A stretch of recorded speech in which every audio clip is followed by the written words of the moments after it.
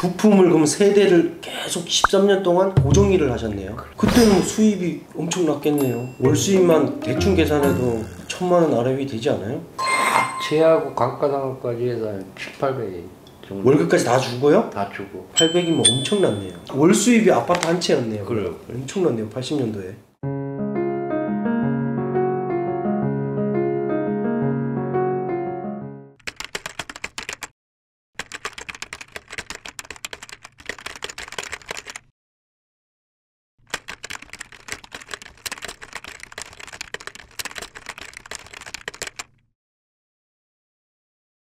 지역이랑 연세가 어떻게 되세요? 10월이면 65세 65세요? 인천 서구 운송업 이제 시작하신 지는 한 몇 년 되셨어요, 경력은? 엄청 오래 되셨겠는데요? 무료로 신규 허가 때, 아, 그 전부터 했어요 오, 그럼 뭐, 97년 넘가 그렇게 될 거예요 87년도요? 90년만 잡아도 35년 이상 하셨네요. 처음에 운송업을 이- 하게 된 계기는 어떤 계기로 하셨어요? 월급쟁이를 하다가 결혼을 해가지고 네. 그때 한참 기사로 타시다가 30원이 넘었을 것 같은데요 40년이네요, 40년. 40 그때는 이제 월급쟁이로 사시다가 임대 남바 단 연도 보니까 11년도더라고요. 그때는 화물차를 세대 정도 직접 운영하셨다고 얘기 들었어요. 네 그렇죠 그때는 그럼 세대다 임대 남바였어요? 임대 남바 하다가 개별이 나와가지고 네. 오던 차를 네.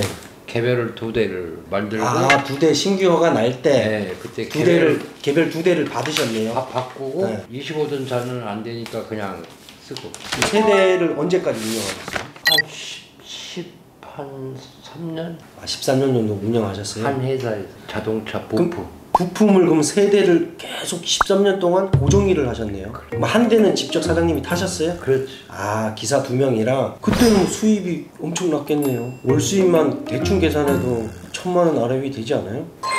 제하고 감가상각까지 해서 한 7, 800 정도 월급까지 다 주고요? 다 주고 800이면 엄청났네요. 월 수입이 아파트 한 채였네요. 그래요. 엄청났네요. 80년도에. 그 중간에 한번 부도도 한번 나셨다고. 하다가부터 딱한 방에 예전에는 운송업도 어음이 있었다고 얘기 들었어요. 전에는 네. 15일마다 결제해 줬어요 어음을 받으면 현금화 해야 되니까 그 어음을 깡을 해요. 그때도 사장님이 어음 깡을 하셨어요? 깡한 거는 한 3, 3년 정도뿐이 안 됐어요 3년 정도. 예, 예.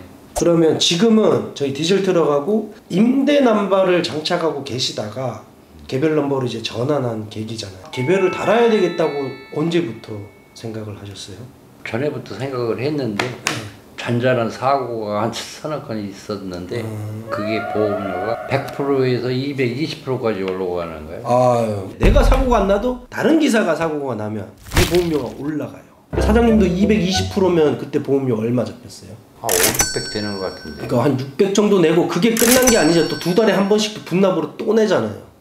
눈에 보이지 않는 비용들이 많아요. 부당하게 요구하는 비용들도 많아요.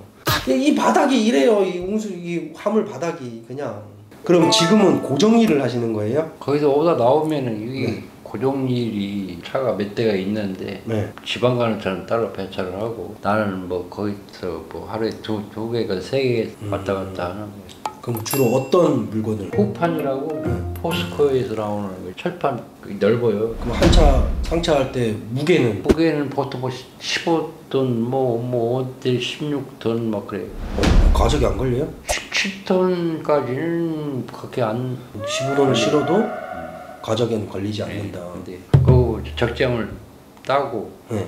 양쪽으로 30cm 정도 나와요. 불법 적재잖아요. 그러니까 불법 적- 적재니까 이거를 허가를 받아야 돼 따로. 시설 관리공단인가 어디 이런 거를 허가 신청을 하면 네. 그것도 이제 법적으로 걸리진 않네요. 그러면 아 그런 게 있구나. 어. 주에 며칠 근무하세요? 아 지금 다 5일 거. 5일 근무. 그 토, 일 쉬시는 거고. 그렇죠.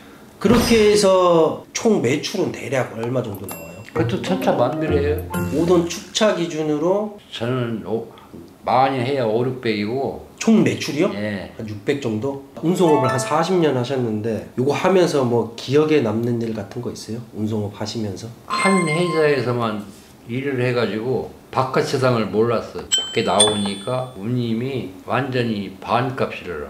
기존에 하던 거보다 네. 그 거기가 운임을 좋게 줬던 거예요. 어. 막 시작하는 분들한테 해주고 싶은 말 같은 거 있어요? 내가 볼때 전망은 없다고 봐요. 젊, 젊다면은 네. 돈 벌려면 뭐 캐나다나 미국 가서 일주일씩 그냥 막 다니는 그런 차를 하면은 아, 돈 벌이 더나. 외국은 그렇지 운반비 이런 네. 것들이 뭐 돈- 돈잘 벌어. 돼 있고 예, 예. 기사분들 대우가 좋으니까 네. 장거리 다니고 요즘에는 콜 잡고 다니니까 막 여기 있다 했던 욕심 부리다 사고 나는 사람들이 많단 말이에요. 뭐한 달에 뭐, 뭐 7, 800, 뭐, 뭐, 뭐 번다 치자고. 그 말이 7, 800이지. 그렇게 벌려면은 두세 시간 자야 돼.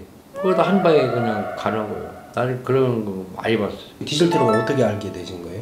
후배분이 저희하고 음. 다 계약 하신 분이 소개를 시켜 주셨구나. 거의 여기까지 오- 찾아온 거예요. 알겠습니다. 이렇게 해서